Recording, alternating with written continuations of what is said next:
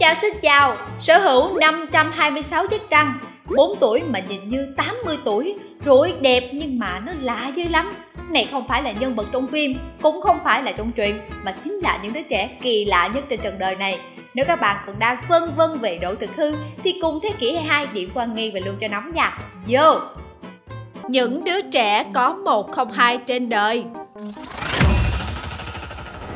Mọc 526 chiếc răng Các bạn có phải là tín đồ của các bộ phim bơm tấn về cá mập hay yêu thích ngâm cứu về loài vật này sẽ biết hàm răng cá mập là ghê nhất trong thế giới động vật luôn.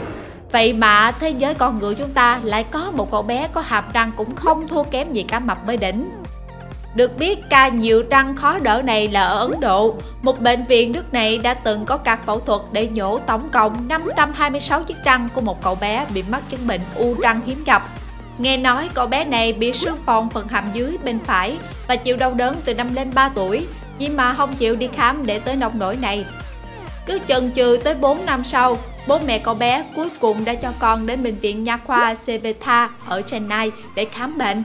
Tại đây các bác sĩ đã chụp phim x-quang cho cậu bé này, cuối cùng cho thấy bên trong miệng của cậu mọc lên hàng trăm chiếc răng nhỏ. Ngày 31 tháng 7, khoa phẫu thuật răng hàm mặt ở đây cho biết đã phẫu thuật mở hàm cho cậu bé này để xem xét. Mấy anh bác sĩ phát hiện một khối thịt ở đây, có thịt này nặng gần 200 gram đã được lấy ra cẩn thận. Bên trong chứa tới 526 cái răng to, vừa và nhỏ. Ây da ghê quá đó mà, Nói 526 chiếc răng vậy thôi, chứ đây thực chất là những mẫu xương rất nhỏ nhìn giống như là răng. Hàng trăm chiếc răng đã chiếm chỗ, ngăn không cho một nửa hàm răng thật của em bé này mọc lên. Cậu bé này sẽ cần cấy răng hàm vào năm 16 tuổi.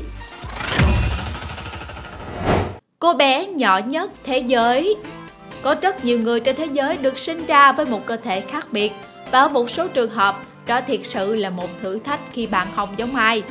Tuy nhiên, câu chuyện của nhân vật sau đây không hề bao trùm sự bi quan, ngược lại đây còn là nguồn cảm hứng giá trị cho cuộc sống. Cô bé Charlotte Gassai, người Anh, được sinh ra với căn bệnh còi cọc bẩm sinh. Đây là một hội chứng hiếm gặp, đến nỗi các bác sĩ còn không biết đặt tên là gì. Khi mới chào đời vào năm 2007, cô bé chỉ nặng 0,9 kg và cao khoảng 25 cm.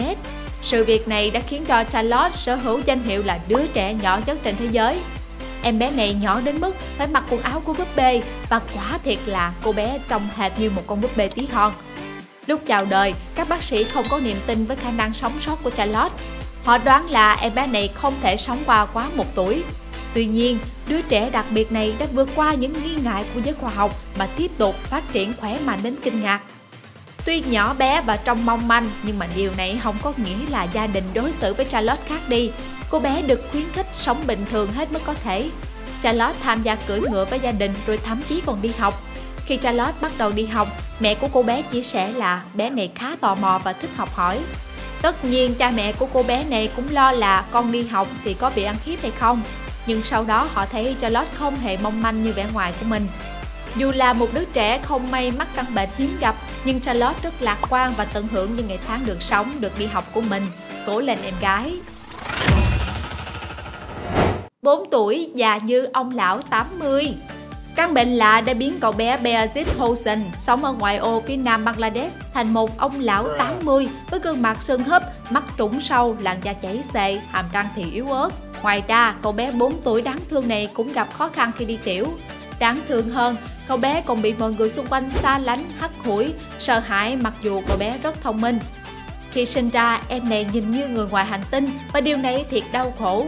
Các bác sĩ nói là họ chưa từng thấy một đứa trẻ nào như vậy. Bác sĩ còn nói ca này khó quá nên phải bỏ qua. Được, hào án, hào án. Dẫu vậy, ba mẹ của bé này vẫn tìm mọi cách để chạy chữa cho con của mình. Hai vợ chồng này đã đưa con đến các bệnh viện, đền thờ, ai kêu đi đâu thì đi đó. Tuy nhiên tình trạng của cháu chẳng tiến triển gì. Hai người này vẫn tự hào về thằng con trai của mình. Cậu bé cực kỳ thông minh và ngoan ngoãn so với những đứa trẻ cùng trang lứa. Theo chuẩn đoán, cậu bé này bị chứng lão hóa nhanh, một triệu chứng khiến cho cơ thể người bệnh lão hóa nhanh gấp 8 lần người bình thường. Những người mắc triệu chứng này thông thường qua đời ở độ tuổi 13 vì trụy tim hoặc là đột quỵ. Ngoài chứng bệnh quái ác trên, Bezos Hosen còn mắc phải căn bệnh nhão da, một chứng rối loạn mô liên kết hiếm gặp khiến cho da chảy xệ nhanh chóng. em bé nặng nhất thế giới. Nặng ký đến nỗi phải phẫu thuật giảm ký bớt có lẽ không phải dạng vừa và trường hợp khủng nhất là cậu bé sau đây. Vào một tháng trước khi bắt đầu ca phẫu thuật thì cậu bé Aya Bermana đến từ tỉnh Tây Java, Indonesia có mức cân nặng sắp xỉ 200 kg.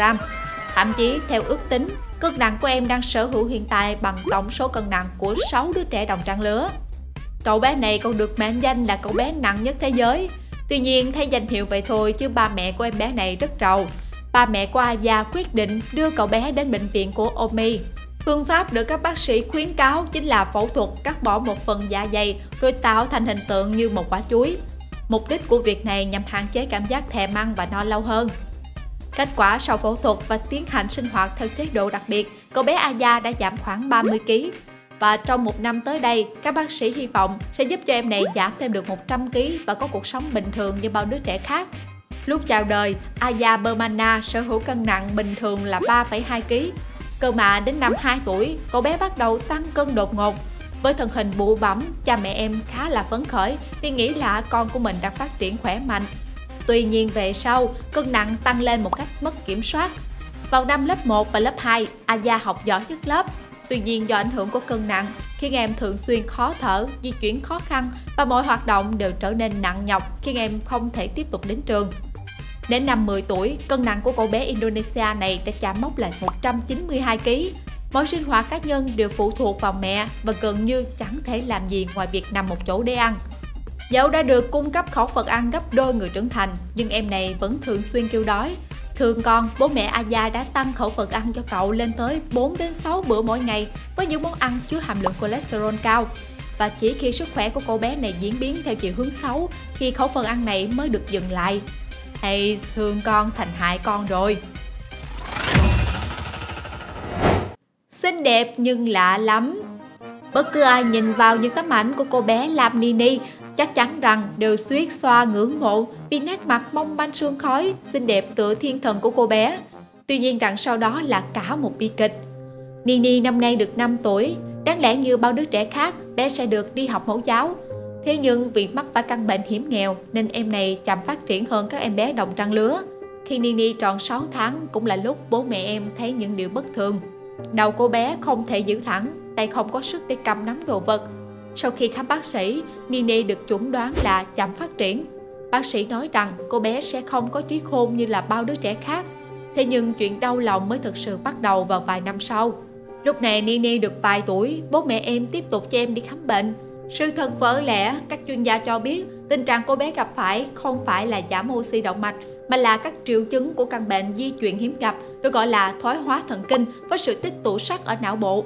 Căn bệnh này không thể chữa khỏi và nó sẽ khiến cho trẻ chậm phát triển, gây ra các hành vi giống tự kỷ, không thể nói chuyện, không thể nuốt, thậm chí là dần già sẽ rơi vào trạng thái là người thực vật.